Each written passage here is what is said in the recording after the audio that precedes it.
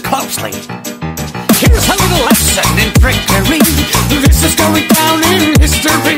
If you wanna be a villain number one, you have to chase a superhero on the run. We're number one.